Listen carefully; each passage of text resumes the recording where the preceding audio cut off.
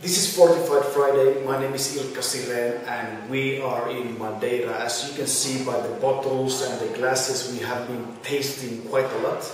Uh, I'm not going to get very deep inside to what is Madeira wine. In this clip, I will do another clip and explain more of, of the history of Madeira wines. I just wanted to uh, film this clip because we had some amazing wines. We are at the moment in Vinhos Barbeito, which is relatively new uh, Madeira wine producer. I think it was founded in the 1940s.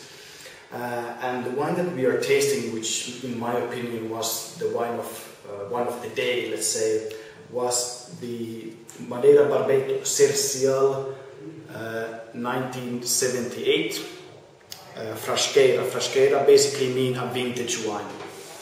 And in this one you get this amazing amazing concentrated uh, nutty aromas, but it's surprisingly fresh. I mean, 78, and you can still, it's, it's like a teenager. You know, it has still a lot of potential, but the drinkability is good. Uh, one reason why I actually kind of like uh, the Barbeito wines is the acidity. As you know, I'm hooked on acid when it comes to wines. I love it, and and that makes the style in general a bit drier. It seems a bit drier at least because of the acidity. But uh, let's taste the wine.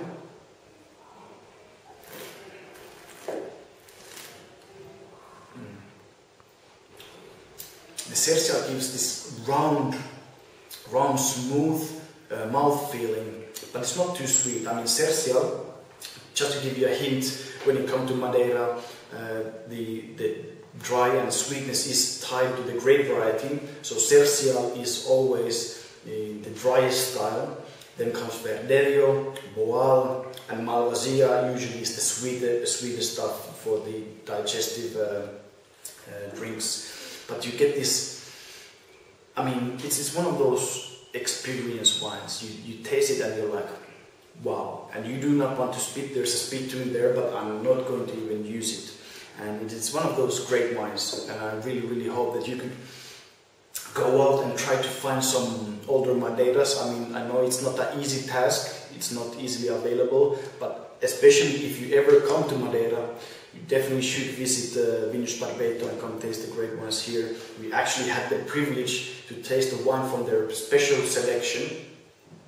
If you can zoom in here, from 1875. It's not made by Vinhos Barbeito because it was founded only in the 1940s, uh, but it's, it's from the private collection of, of the company. And I mean, it just shows that uh, it's the, the Madeira wines are basically indestructible and, and delicious even after hundreds of years.